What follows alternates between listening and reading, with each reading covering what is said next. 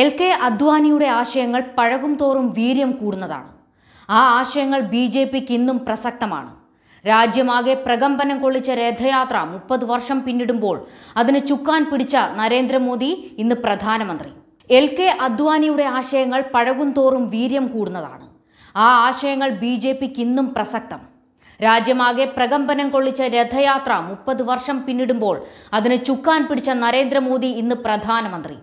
ബംഗാളിൽ പയറ്റാൻ പോകുന്നതും ഇതേ രഥയാത്ര. രഥയാത്ര നടത്താൻ ബംഗാളിൽ ബി ജെ പിയെ കാലുകുത്തിക്കില്ലെന്ന് മമത കടുംപിടുത്തം പിടിക്കുമ്പോൾ ബംഗാളിൽ കാലുകുത്തുമെന്നും രഥയാത്ര നടത്തുമെന്നും പറയുന്നത് പ്രധാനമന്ത്രി നരേന്ദ്രമോദി. ബംഗാളിൽ തീ പോരാട്ടമായിരിക്കും ഇത്തവണ.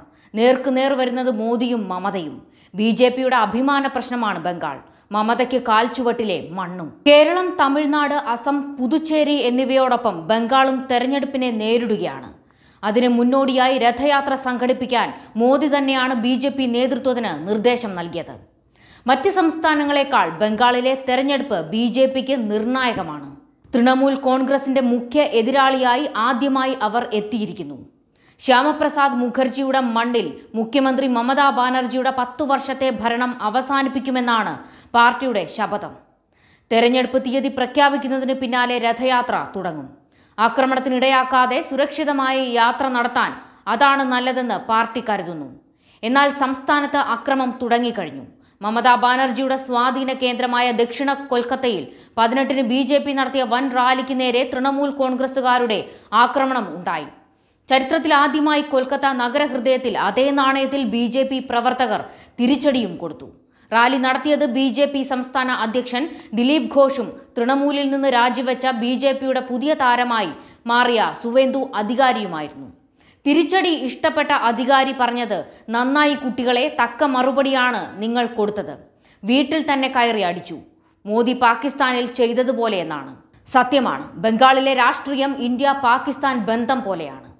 തൃണമൂൽ പ്രവർത്തകർ ഇന്ന് ബി ജെ പിക്കെതിരെ അടിച്ചാൽ നാളെ അവർ തിരിച്ചടിക്കും. ബംഗാളിനെ അടക്കി ഭരിക്കുന്ന വടവൃക്ഷമാണ് മമത.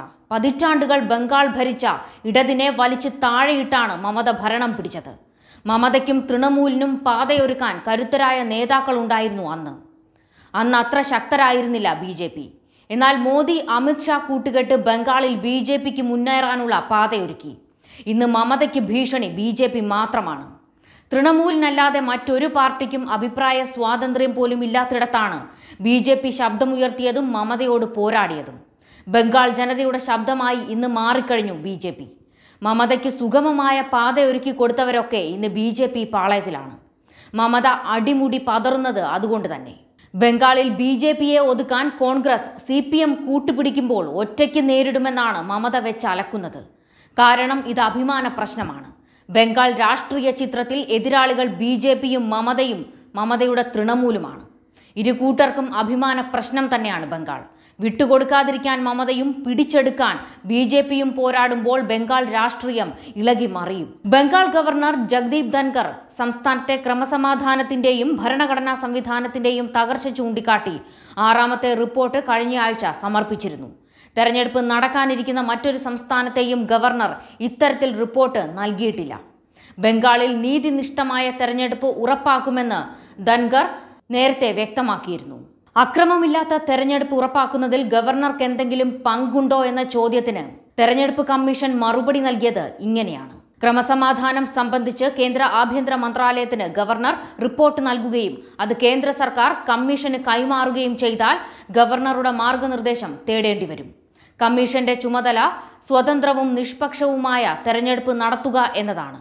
ഈ ചൂട് പിടിച്ച അന്തരീക്ഷത്തിലാണ് നേതാജി സുഭാഷ് ചന്ദ്രബോസ് ജന്മവാർഷികത്തോടനുബന്ധിച്ച് ഇന്ന് കൊൽക്കത്തയിൽ നടക്കുന്ന ചടങ്ങിൽ പ്രധാനമന്ത്രി നരേന്ദ്രമോദിയും മമതാ ബാനർജിയും വേദി പങ്കിടുന്നത്. കൈക്കരുത്തുകൊണ്ട് തന്നെ ബി ജെ പിയെ നേരിടാനാണ് മമത ഉദ്ദേശിക്കുന്നതെന്ന് വ്യക്തമാണ്. എന്നാൽ തിരിച്ചടിക്കാൻ ബി ജെ പിയും ശക്തരാണ്. News desk Karma news.